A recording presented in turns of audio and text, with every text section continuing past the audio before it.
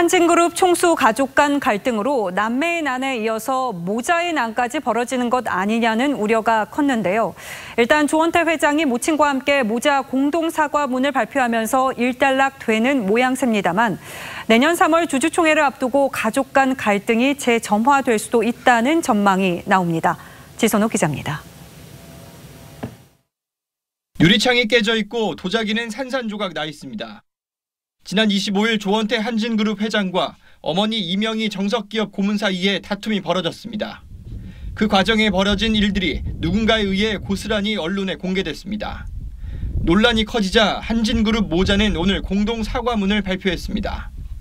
조 회장이 곧바로 사죄했고 이 고문이 수용했다는 겁니다. 가족 간 화합이라는 고 조양호 회장의 유훈을 지켜나가겠다고도 덧붙였습니다. 조원태 회장이 누나 조연아 전 부사장에 이어 어머니와도 갈등을 빚는 것 아니냐는 우려가 커지자 조기 진화에 나선 것으로 풀이됩니다. 이 고문과 세 자녀는 지주사인 한진칼 지분을 5에서 6% 선으로 비슷비슷하게 갖고 있습니다. 누구 하나 그룹에 대한 확실한 지배력을 갖지 못하고 있는 겁니다. 하지만 공개 반기를 든 조연아 전 부사장이 경영 복귀 등 원하는 바를 달성하지 못한 영향으로 내년 3월 주주총회 이전에 갈등이 재발될 수 있다는 우려가 나옵니다. TV조선 지선호입니다.